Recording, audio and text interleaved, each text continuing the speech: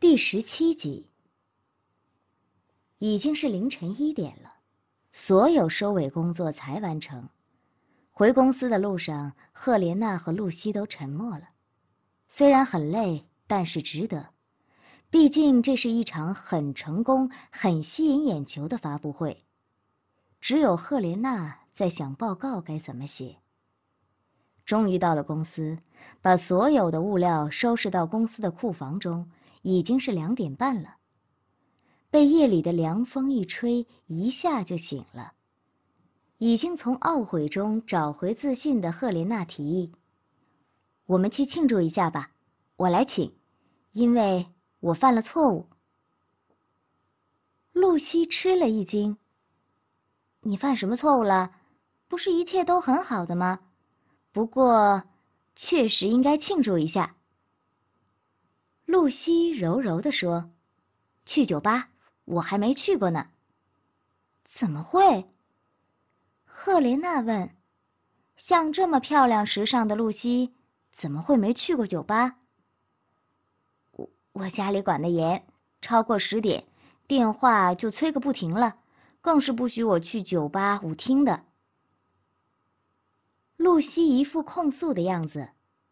要不是我今天提早打了招呼，说不回去了。电话一定早就来了。赫莲娜大笑，那就去酒吧吧，正好我也没去过什么真正意义上的酒吧。哎，你说今天不回家了？如果我们晚上不聚会，忙到现在的你想自己去哪儿？露西的脸红了，可能还是会去酒吧吧。OK。两个女孩做了决定。突然，赫莲娜的手机响了，是沈飞。她接起电话，沈飞的声音传来：“我刚从公司出来，我们晚上去喝一杯吧，叫上露西，怎样也该庆祝一下的。”赫莲娜想拒绝，又找不到理由，只好说：“我们俩正想去酒吧呢。”沈飞很严肃地说：“如果没有男人陪着，女孩子最好不要去酒吧，容易让别人误会，发生不必要的麻烦。你们在公司等我一下吧，我去接你们。”赫莲娜点头称是，心里却有点怪怪的化学反应。没一会儿，沈飞就打了出租车来接他们。他们坐上了出租车。沈飞说去工体西路的 Baby Face。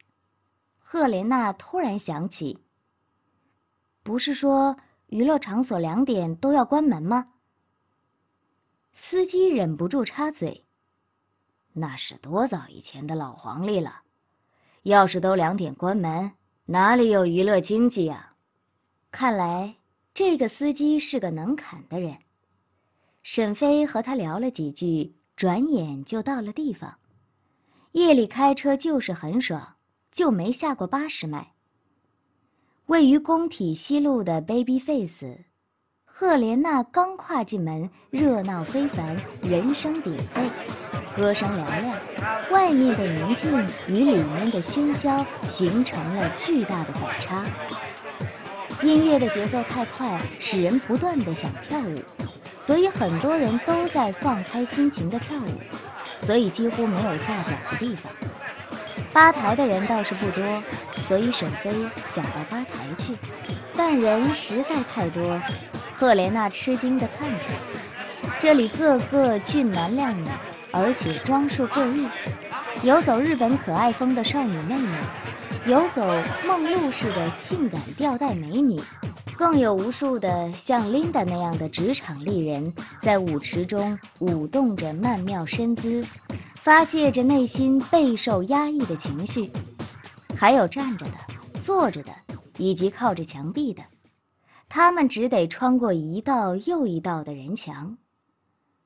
终于看见吧台了，偌大的环绕型吧台，穿黑白相间的服务生的头顶。盘亘着树枝样的铁枝杈，枯黄色的吧台渗透出温暖的光线。抬头是红色的小灯盏构成的顶灯，形状奇特，自由舒展。还有那面梦幻般的大镜子，折射着光与影的风景。富有东方韵味的镜框，暗示着这个大宫殿的舞会刚刚开始。赫莲娜和露西都是第一次来这里，就像梦游幻境的爱丽丝，惊奇地看着四周的一切。沈飞坐在吧台前的高脚椅上。waiter，芝华士加绿茶。沈飞招手叫服务员，侍者一丝不苟地将绿茶和芝华士倒入一个已经放了半杯冰的大扎杯里，兑好后。给他们三个分别倒掉。赫莲娜拿起一杯，大喝了一口。没什么味道。我以为酒吧里的酒不是这样，酒非酒，茶非茶的。沈飞笑了。那你觉得应该是什么样的酒？其实我们在学校的时候有学交际礼仪，其中有鸡尾酒的内容。我对其中的烈甜酒印象深刻，一口喝下，要么很辣很烈，要么很甜很浓，就像职场里的感受。非苦即甜，没有中庸的味道。赫莲娜吼着，因为音乐的声音太大了。非苦即甜，并非是他这种已经不再纯粹的职场感受。沈飞若有所思，芝华士加了绿茶，味道很轻很纯，但又透着些成熟感，像是女人的爱情，时而纯的可爱，时而又老到成熟，但仍是各有各的存在，就像卡琳娜和自己，她爱自己，但是那种爱自己又承受不来。或者说，自己想要的女人，并不是那种居高临下的。作为一个想成功的男人，不想让别人看轻自己，又不想自己成功的太辛苦，这种纠结一直缠绕着自己，无法释怀，更没有出口。沈飞摇头叹气：“唉，你的理解太简单。不过……”给你点一个你形容的。说着，他打出响指：“waiter，一杯冰火两重天。”侍者立即去准备，没一会儿，就端上盛着砌成圆锥的蓝色冰霜的马提尼杯，又切一片小小的柠檬。并且在柠檬上放一小勺红糖，小心地将柠檬放在圆锥的顶部，往柠檬淋上五毫升的百加得一五一，取出打火机点燃了柠檬，又切了一小片青柠皮，用它对着燃烧的火焰轻挤青柠汁。赫莲娜看到了微小的火星在跳动。感觉就好像是在燃放小小的烟花，这种感觉真的很美妙。等柠檬上的火焰熄灭，侍者让赫莲娜取下柠檬轻咬一口，她依言做了。可真是又甜又酸又辣，赶紧吸了一口酒，这一回可不是自己的眼睛。而是自己的味蕾明白了什么叫做真正的冰火两重天。赫莲娜沉默了，所有经历都涌上心头。沈飞也沉默了，他默默地看着安静下来的赫莲娜，一种奇怪的感觉闪过，自己的心没来由的一沉。露西看着酒吧里的灯光，朦胧的有些暧昧，像雾，像雨，又像梦。灯光里的那些脸，看不太清楚，难过的、微笑的、苦恼的，都可以经由想象把他们想得很美。那些在酒精音乐里悄悄释放的心，寂寞的、放纵的、抑郁的或者哀怨的。也都可以让人感觉到一种静静散发着的凄美，有点不真实，有点不一般，让人在不知不觉中闻到别样的味道。周一的早上，赫莲娜带着出差的行李来到公司，首先将准备好的总结报告给了琳达。琳达看了惊讶不已：“你……”不必把那个意外写上，而是要放在心里。那个意外已经成为你特意设计的环节，大家都很满意。我也希望你能继续发挥这种小机智，去做更多的案子。听了琳达的话，赫莲娜感到她态度的转变，自己终于被琳达认可是一件多么难得的事。赫莲娜的眼睛浮起了雾气。例会上，赫莲娜和露西得到了斯黛拉的表扬，继而斯黛拉又宣布了一个消息：春节过后，公司一年一度的海外培训又到了。这次是去美国芝加哥的总部学习三个月的机会。希望你们几个新人加倍努力，争取这个名额。露西也有机会。听到这样的消息，让几个新人都兴奋不已。只是有人表露出来，有人深藏不露。回到座位上，赫莲娜接到了卡琳娜的电话。我看到了几份报纸的报道，非常好。对你的这场发布会，我很是满意。明天就将钱划到你们的公司的账上。接下来的上海、广州两个城市的活动，我相信。你会做得更好。天哪，这次发布会的预算是琳达和沈飞做的，足足有九十五万，而一开始颇有微词的卡琳娜，竟然能这么痛快的结账，让赫莲娜对卡琳娜刁钻的形象定位有了改观。财务的米切尔给赫莲娜打来电话，把你们这次发布会所用的所有费用单据整理好。让琳达和斯黛拉签了字给我。露西承担了这个工作，她将厚厚的单据分类整理好，拿去分别签了字，送到米切尔那里。赫莲娜则忙着核对媒体名单以及确认发稿日期。现在媒介的瑞贝卡把收集来的样报和网页刷屏记录给赫莲娜送来。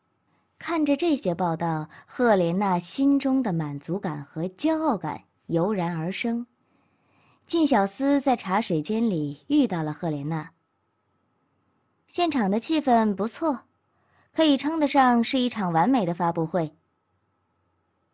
靳小司充满真诚地说：“看来你这个对手先添了一份好的答卷，我要努力才能赶超你了。”赫莲娜举起自己的水杯，和他的碰了一下。谢谢你能这么说，其实，我是想得到琳达的认可。要知道，我在他心目，可是和愚蠢划等号的。靳小思笑了，心里却在狠狠的咒骂：这个胖女人还真是命好，这么大的发布会能做得如此到位，却还没得到什么有效的外界支持。算他有运气。他骄傲的碰了杯。下一个竞争就是那个培训的名额了。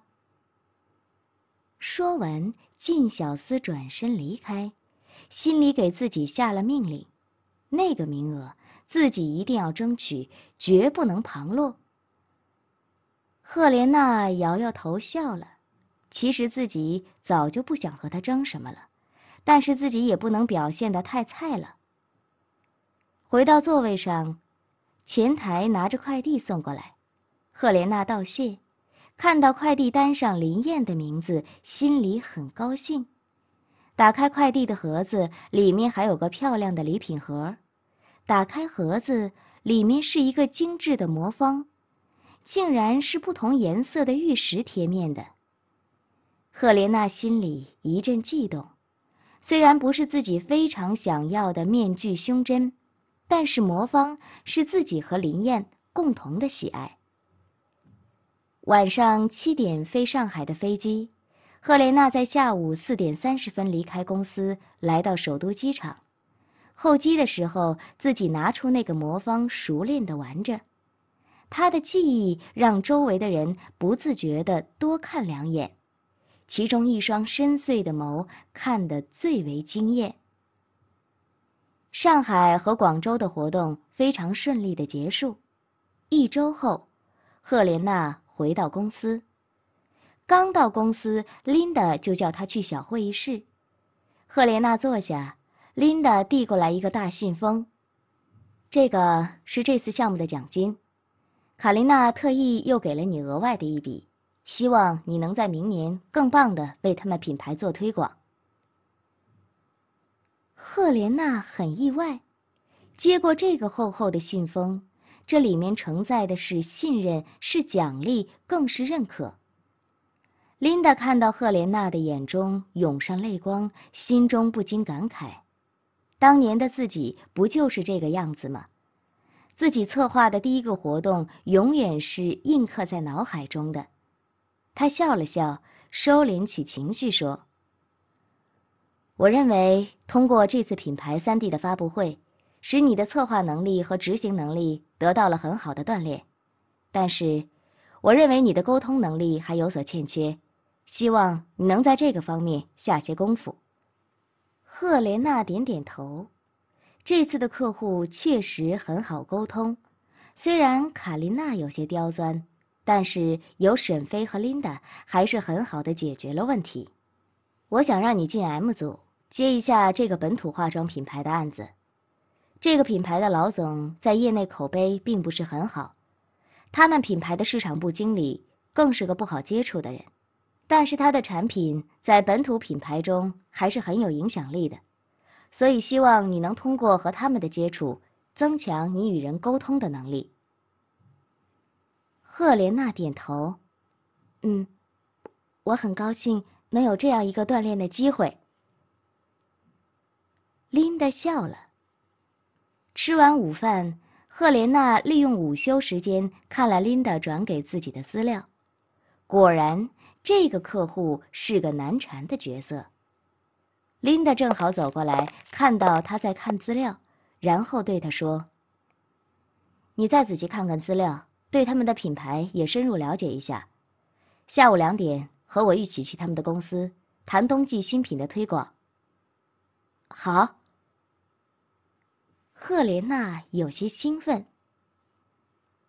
一点一刻的时候，琳达和赫莲娜从公司出发，琳达开着车。